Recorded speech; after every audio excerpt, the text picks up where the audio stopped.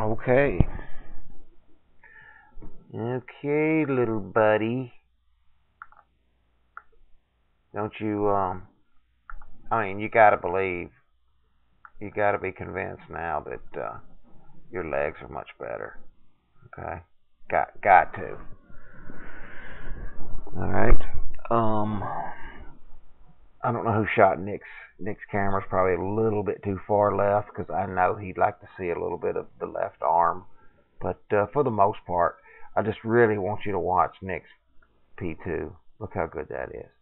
So he's starting off with that good that good um, flying wedge. So he's cocking the wrist up as the hands work inside. I mean that's his that's the best two in golf right there, man. And then what do you do? You take it right under plane. Okay, and that's just too much left arm rotation and not enough vertical wrist cock. Or uh, number two, accumulator. Not enough. Okay? So, you really need to feel like that club face is pointing to the ball all the way to two. All right, so now I got you two, I'm going to take you to three. Three's good. I, I think you're probably going to see that your three and Nick's three are real close. No, not that close. All right, so you're you're entirely too deep. See your hands right here, and that's because so you've got to make up you got to make up some ground. Um, I don't know if you've seen. I've got also got Mike Bennett's but my shaft is perfectly parallel right there. And it's not a huge deal. It's more about it's more about the club face than it is anything else. But look how notice how we can see a little bit of, of Nick's Nick's elbow right there and we can't see any of yours. His hands are more they're up his they're a little bit further up his upper arm than yours are. So if you'll uh, if you'll get that number two, and that's that's probably the first thing that I would uh, focus on because that's easy. That's something you can do. You don't even have to have to have a golf ball. You don't have to even hit balls. Just you need a mirror really. All right. So there's your four, your top. All right. So you're actually pretty good right here. You you turn your shoulders to 115 degrees, dude. You don't need but about 90 degrees. See, all of this is unnecessary. Shorten that thing up right there. It's not a bad position if that's what you're into. Okay, so look at that. I mean, there's Nick's three, not much further. So he's got his shoulders turned. When he gets to three, his shoulders are probably 80 degrees. So he just turns them a little bit more. And see, this is the beauty. This is the, you know, stack and tilt doesn't get enough credit, I don't think, for being simple. It's just, it's simple. Everybody thinks it's complicated, but it's not. Look at his, look at his club face. That matches his left arm and his shoulders. And everything's, all the lines are parallel and perpendicular. The club face is always perpendicular to the plane and path, or to the path. Okay, so club face so much better. Your club face used to be, your club face used to match this yellow line here. So much better.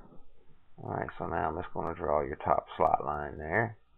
So look how shallow, narrow your slot line is, and look how wide Nick's is. So that gives him a little bit more room. So here's his 5, which is real close. That red line right here is his 3. And his shaft almost comes right through it. Alright. And you have to reach a little bit more. Alright. So here's your five. It's really close. So you got you've got dude, you're you're real close. Real close. I'm gonna send this to Nick too and see what he thinks. He'll probably say my analysis is all wrong, you blithering idiot. Alright, so here's six. This is the arguably one of the most important positions right here because this is where you deliver. This is the delivery position. And if you look at Nick's arms, his left arm, And his forearm. That right forearm is typically, with the good players, is going to be parallel to the original shaft plane. Club face is going to be real close to matching his spine angle. Okay, and now he'll just cover it. His elbow and his hips are going to work pretty much together. See, his right arm doesn't straighten out too soon. Actually straightens out just about right there. And I'm going to clean these lines up in a minute. And uh, let's see how his hips and his arms work together right there. Everything's turning together. Now, I'm doing this slow. At, at speed, there's going to be some lag in there. That club head's going to lag behind. I'm going to stop you at 6. Alright, so you're at 5. So here's your 6. Look how far, look how far back your club is behind you. Back there. That's why the delivery position is so important man, you've got to catch up. You there's no way you you you have to flip the club through to square it up. You have no chance. Now look here, look how your butt's falling off. Your ass just fell off right there because you lost your posture. Posture. All right.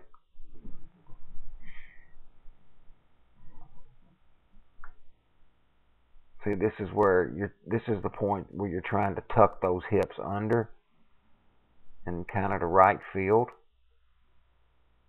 Not terrible. But see how you've gotten straight? Look at this.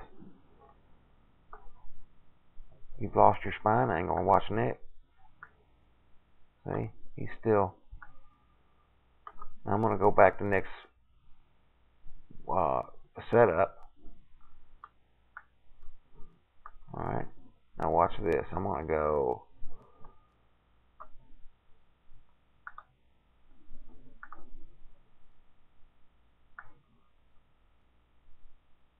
Alright, so there's Nick's impact, which is P7. Address, impact. Look at that spine angle. That never changes. Look at that. It goes right through his ear. Right through his ear. That's consistency right there, my friend. Alright, so let's look at let's look at you. I'm gonna clear up some of these all these these lines. Okay, so we got to get you get your spine angle, get you bent over just a little bit more, a little bit more bend from the hips. Okay. Oh, here's your P7. All right, so boom, boom, Mm-hmm. Mm-hmm. Mm-hmm. Mm-hmm. Mm-hmm. Mm-hmm. That's what you were doing tonight, huh? Or you wish you were doing tonight.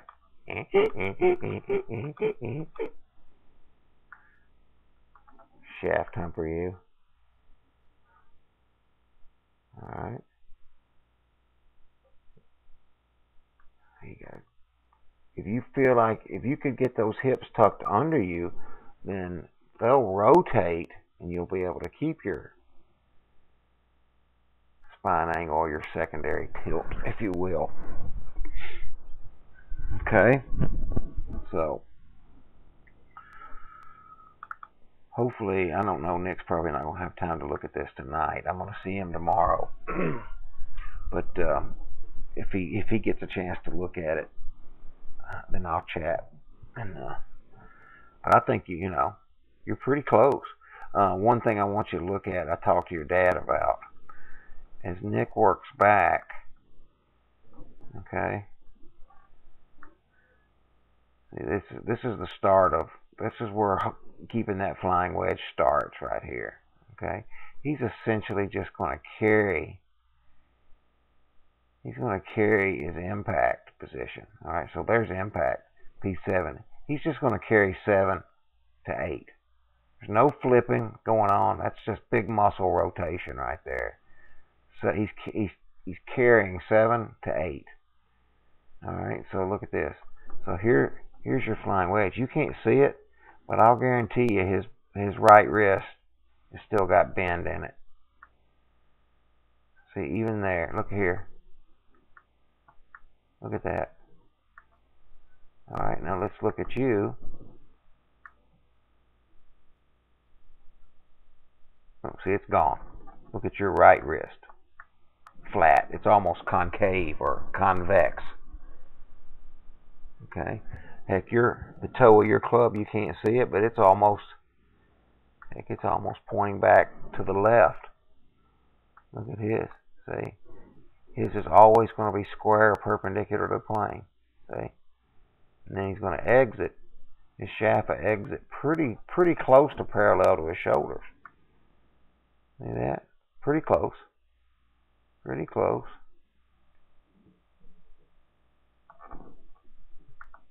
And there's that uh, pretentious stack and tilt finish. look where you, look at your exit angle. It's coming out of your neck. Right there. No spine tilt. Neck still in his tilt. That long, long, uh, let me change colors here. This long blue line. I'm going to click him back to address. Boom. Right in his ear. Boom. Boom. Boom. No humping going on there, my friend. And what's funny about stack and tilt, back in 07 when it came out in Golf Digest, everybody said that that's what they were teaching. They were teaching people to hump the shaft. Quite the opposite, my man. This is just what the good players have always done. So I want you to look at this. I want you to at least reply and, and let me know that you you viewed this. I know it's a, I'm kind of long-winded here, but you you I mean if you if you want to get better, um, you know, it's a shame that I mean, it's just a shame that you didn't make the golf team. You know, and maybe maybe that's not what you want to do. You know, I'm not. I don't want to push you. I know your dad doesn't want to push you, but it's a shame because you have talent, you have the skill, or you have the ability to ability to, to enhance your skill. Um, you know. So anyway,